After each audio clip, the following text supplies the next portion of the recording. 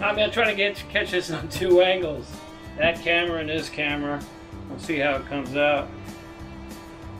Alright, today we're gonna install the Road Warrior fairing on Donna's 2021 Softail Standard. First thing I'm to do is put these brackets on the fairing, get that part out the way. So, these are 7 16 nuts. Take them off. Excuse me, 7 16 inch bolts. There's also a rubber grommet there.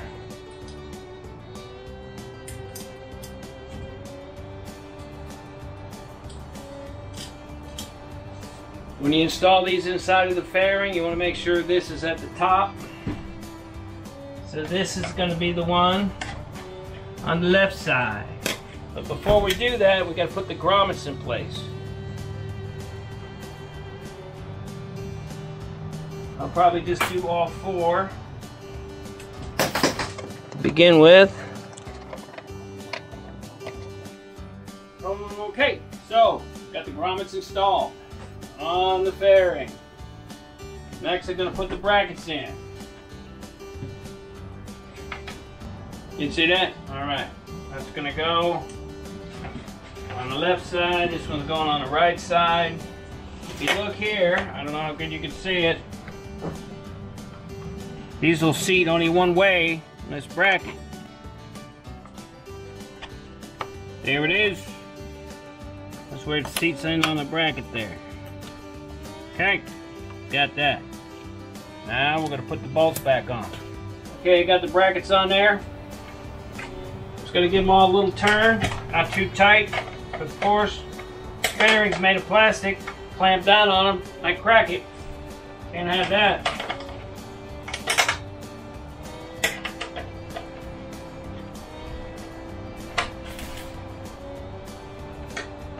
But I want tight enough to stay put. Should use a socket for this. Better off using a socket than doing what I'm doing with this box wrench.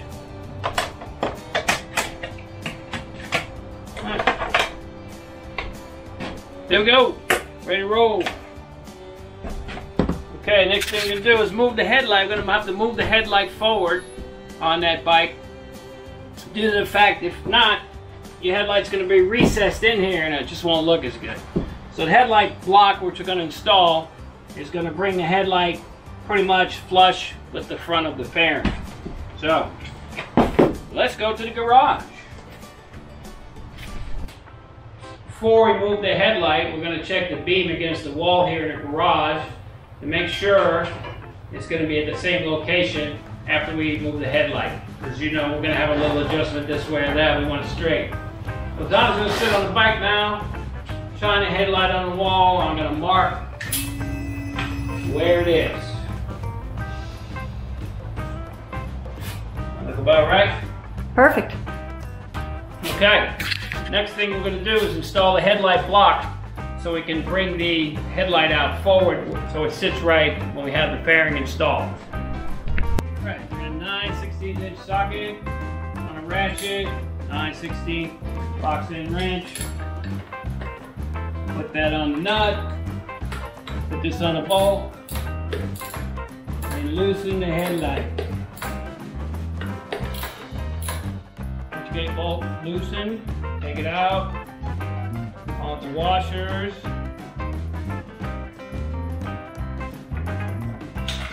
And I like to put everything back together lose it because I have a tendency to lose stuff it's right underneath Okay, set that one aside. Now I'm going to take a quarter inch hex head, Allen head, and we're going to remove the headlight.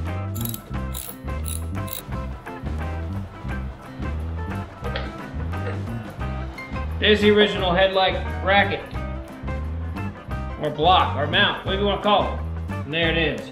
We're going to replace this piece with this one here that you have to buy separately from Memphis Shades. The headlight block. There's two different positions you could put it in. You can bring it back a little bit or you can bring it forward a little bit. I'm just guessing right now. I'm thinking we're gonna need the more extended version of this, so that's where I'm gonna put this block. If we have to go back and adjust it, we can. So, you notice also with this, this is the long block, by the way.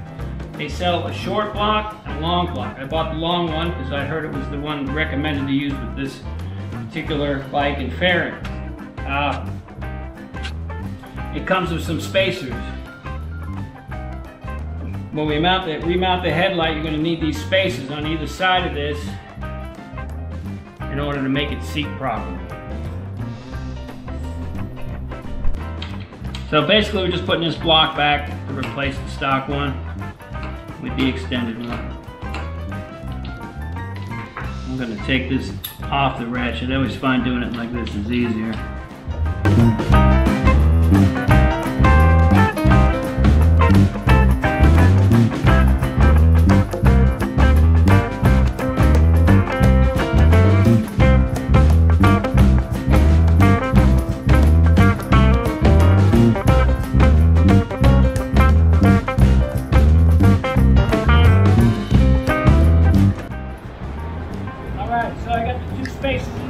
The bolt through, and I'm gonna tighten this back up. Bolt, washer, spacer, spacer, washer. This washer. And the nut. 9 16 lock nut. Now we're gonna give a 9 16 socket. There it goes. I said I loosed up? Look at this. Looking all over to the floor there for my socket. And it was rolled down the garage floor. I'm to snug this up a little bit before we adjust it. So now we're going to put the clips on, put the fairing on. So these I believe are 49 millimeter fork tubes. So we're going to use the third one in. One, two, three. Boom, clip that on there like that. The cool thing about Memphis Shades uh, mount kit, it comes an Allen key. You get that bolt out.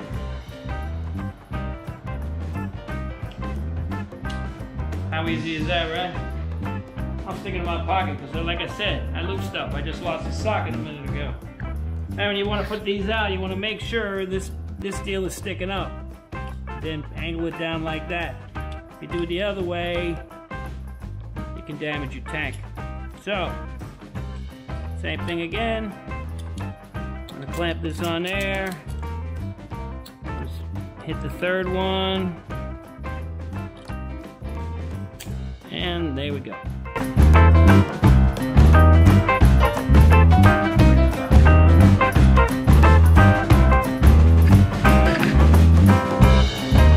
Okay, now we got all four clamps installed on the fork tubes. We're gonna get the fairing and then we're gonna match it up to see how it fits.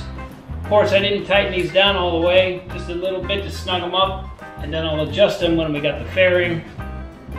Almost kind of put it on the bike. Huzzah!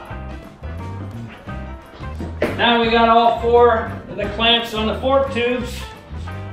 We're gonna check out their trigger lock mounting system to hook this onto the bike.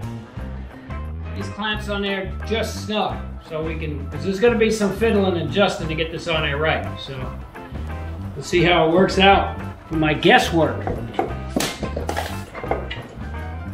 To do these trigger lock mounts, this is how you open it.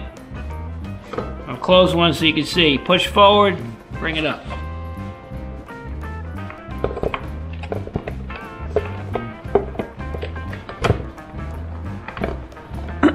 it's close.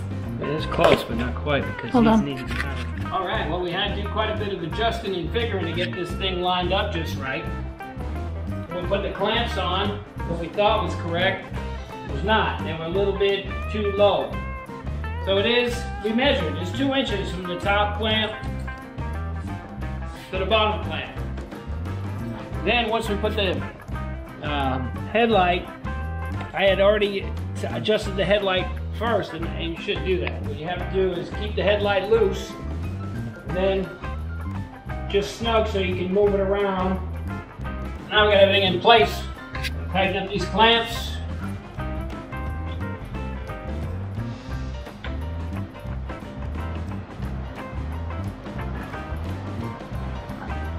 Now, in the beginning, I, I put these brackets on the fairing, and I shouldn't have tightened them either, because we had them adjusted all together. So now I'm gonna take it off and tighten the bolts where they belong. If everything goes right, it'll pop right off. Push them forward, you lift these up, pop it right off. Bada bing. Now that we know these bolts are in the right position, we're to tighten them down with a 7 16 socket on a ratchet. Just snug. Just the headlight. Now we got a perfect view of where it was before. So between my markers, two pieces of masking tape. Seems like it worked pretty good. So next thing we're gonna do is pop the windshield on. We're good to go. All right, got the windshield here. This is the light smoke windshield, 11 inches. Did the shades. I tried to get down a clear one because I just thought a clear one would be better to have, but they don't make them anymore. That used to be called the Ghost. So now all they have is the light smoke and the dark, dark smoke perhaps. I think that's it. This is the vented fairing. Once again, I couldn't find a non-vented fairing, so we're gonna go with this. I heard some people say the vented fairing's better. So, put this on is way simple. Put it there. So, yeah, you hold it, baby. Okay, the screws for the windshield is supplied. The plastic. The outside here, screw head. Don't use a screwdriver on. You use a screwdriver on this, may tweak it down too tight, and what will happen, happen then is the windshield will crack. Don't want that. Matter of fact, even the little bag it comes in says, no screwdrivers. So, don't. Okay, Memphis Shades Road Warrior fairing has been installed on Donna Softail. I think it came out real nice. It wasn't very difficult to do. The only thing is, you gotta remember, when you're adjusting it, it takes a little time to get the exact location for the clamps and the trigger lock mechanism. But once you sort that out, tighten it all down, adjust your headlight again, good to go. So. Shut up and sit down.